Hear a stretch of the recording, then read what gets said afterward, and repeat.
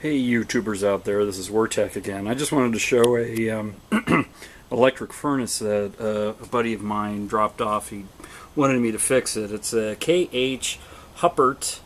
Um, I wish there was more information on this particular furnace. I was looking online and I couldn't find any old manuals or anything like that, but it's uh, it's a Type ST, whatever that means. It's a 110 volt and it's an 8 amp um, and it's a style too. So um, apparently, these were produced by K.H. Huppert in Chicago, Illinois, and um, it's a very simple furnace. I know that they use these things for uh, oh casting metals and things like that. The temperature range on it, looks like, in theory, you could go up to 2200 Fahrenheit, but it looks like they're probably not interested in going that high, maybe 1800.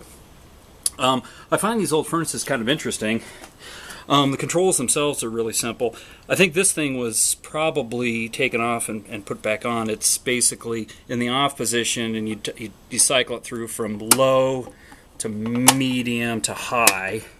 And I've already tested it. The uh, original cord went with it and it was just so frayed and busted that it had to be replaced. So I, what I did was I just simply used a cord from an old computer and I tried it out. Um, also, the diameter fit in the back of the hole there, so maybe we can take a look at that really quick. You can kind of see.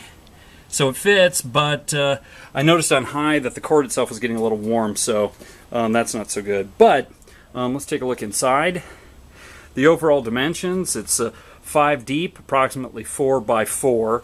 It's a little off, but it's close. Um, we have the original plate here that has since been repaired, apparently.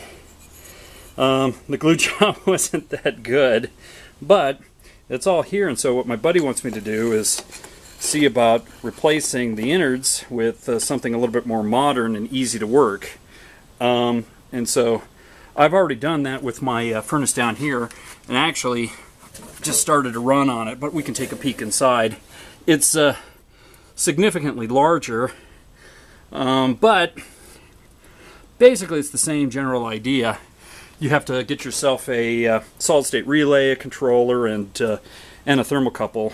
Um, but let's take a look at the underside of this so you can take a look. One of the reasons why I like to show these things off is my motivation is mostly if it's not out there, if there's no information out there. Okay, so you can see the cord runs through here.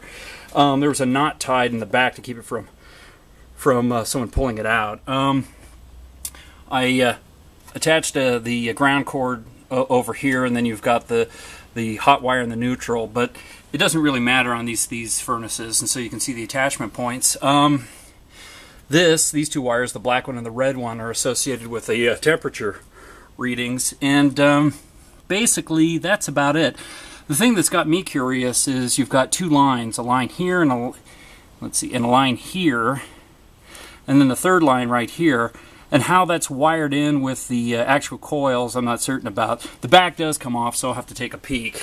Um, when I did the wiring for mine, just put it back, I uh, made sure that each of the core, uh, the, the, coils, and there were in individual uh, segments inside the my furnace, but basically I wanted to make sure they ran in series. Uh, I didn't want to have a, uh, no, excuse me, not in series. Let me let me backtrack. Run them in parallel.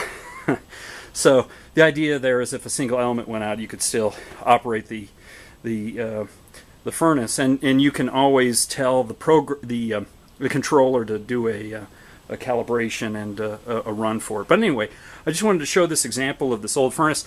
I wish I had more details in terms of the year and uh, those sort of things, but maybe somebody online can uh, help me out and, and, point out the, the history of uh, this particular uh, small furnace. I assume it was used for metallurgical, uh, uh, castings, possibly uh, you know uh, for for dental uh, type of operations. I mean, it's really kind of small. I mean, it's it's a very simple uh, setup. But if you're heat treating small, you know, preforms like this, um, then it should work fine. So anyway, that's about it. Thanks. Bye.